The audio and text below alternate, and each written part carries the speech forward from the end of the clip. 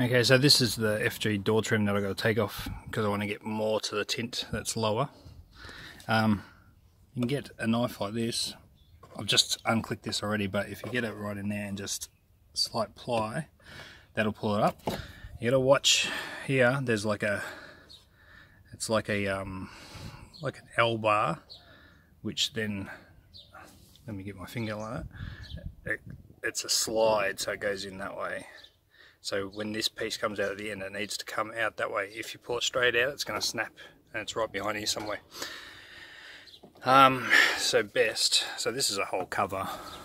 So best to get a nice sharp prying tool and just, what you'll do is, see that, see that, it just popped. And here's very thin, so you, so you want to um, be very careful when you're unclicking that.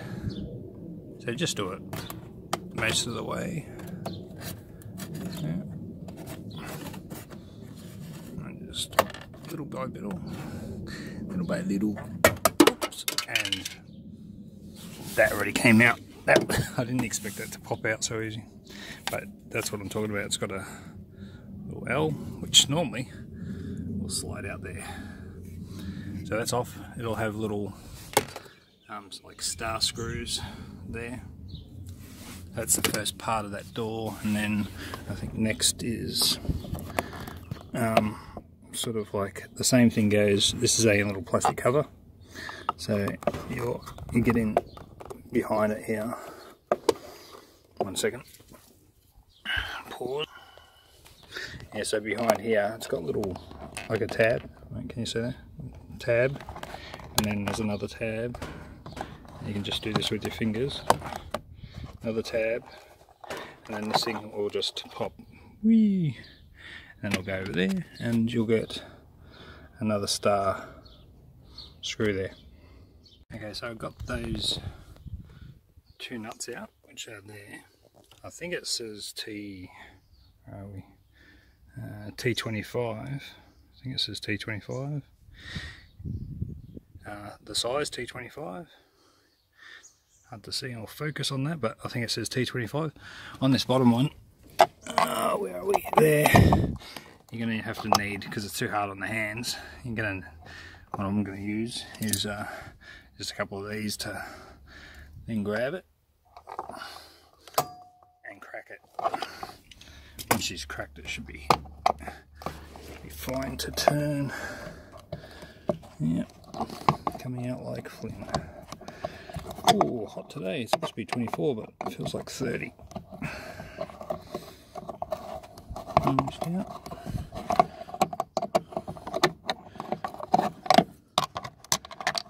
Yep.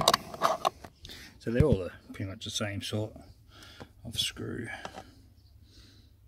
Anyway, next. Okay, so after you take that nut out, this should just pop out.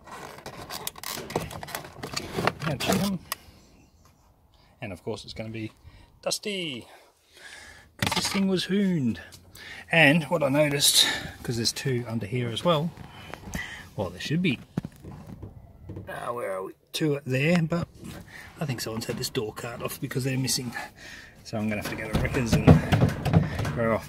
And also normally you got a series of circlips along here with nearly every single door card which would normally clip and these are just these are already popping out so this should just lift. And see it's already coming off. Oh my goodness. Oh my goodness, look how dusty. Oh boy. Alright, so I'm just going to pull that off with two hands, one sec.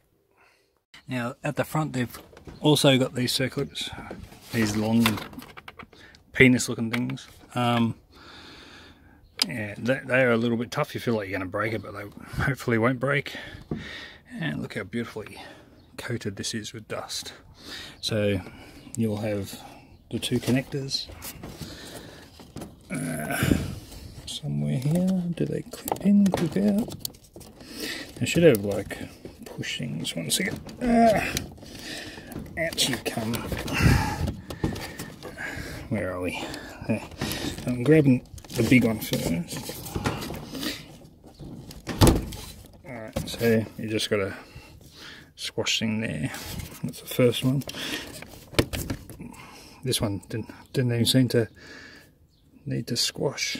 Okay, so that looks like the door cut. Oh, and it looks like you've got a mechanism there, right there.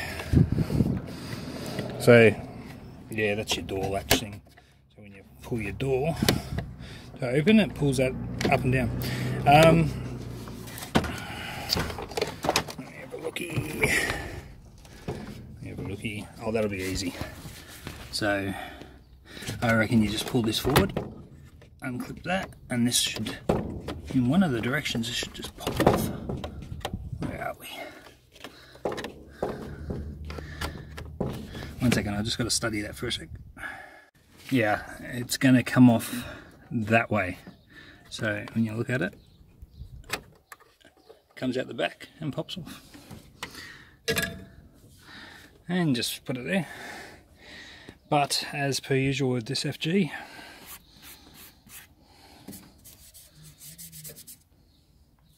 I'm gonna have to get the get the blower on it. Far out.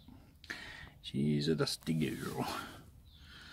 So yeah, I'm, I'm leaving the windows down today just to cool the car down. But um, so I'll leave this off. I'll blow it and clean it up as much as possible, and um, then I'll just have this off for the guy who will uh, do the tinting on that window.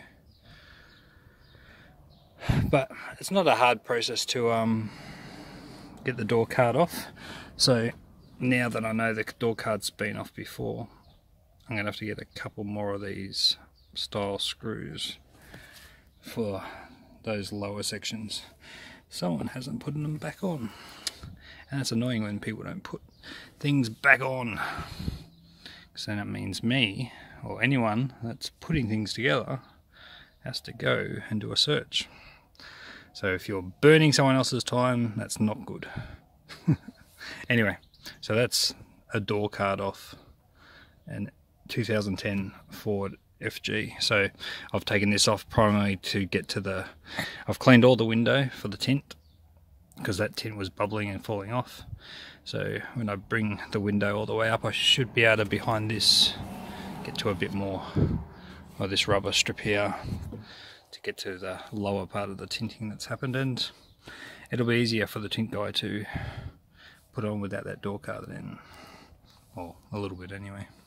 So that's done.